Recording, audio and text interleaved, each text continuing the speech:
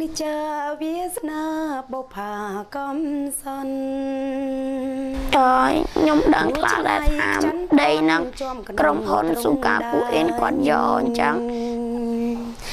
ពេលនឹងបត់ពងា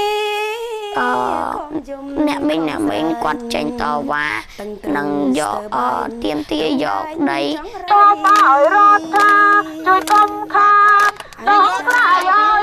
ឲ្យកូនកូនជំនាន់ក្រោយរៀនតទៅទៀត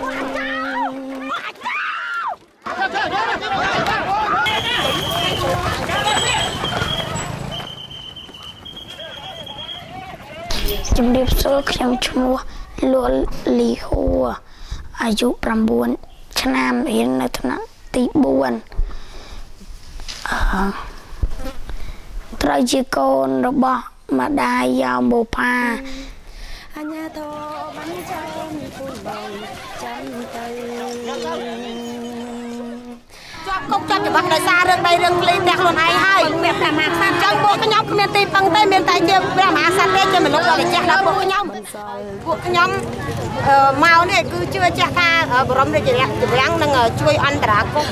ពួកខ្ញុំអត់មានមកធ្វើអីទេពួកខ្ញុំមកសុំបងកោសុំមកកោសុំ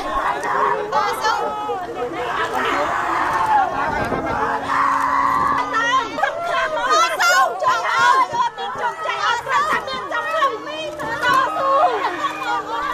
ម្ដាយខ្ញុំជាប់ក្នុងពន្ធនាគាររយៈពេល1ឆ្នាំហើយខ្ញុំអន់ម្ដាយរយៈពេល1ឆ្នាំហើយដោយសារស្មកប្រព្រឹត្តយកមកដាក់គុកតើចៅក្រមជាចៅក្រមហ្នឹងណាជាចៅក្រមបំរើប្រជាជនឬក៏អត់